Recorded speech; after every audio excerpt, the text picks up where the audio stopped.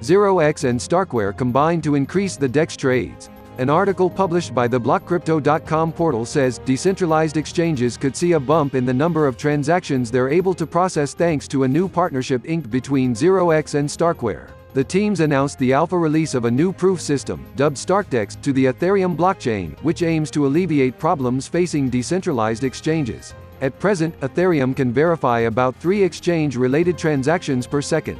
StarkDEX purports to scale up decentralized exchange performance to 8,000 transactions per block at maximum throughput, with 40 to 60 transactions per second likely for the alpha version. Follow the events of the world fintech and blockchain with us. The news release partner Stex.com.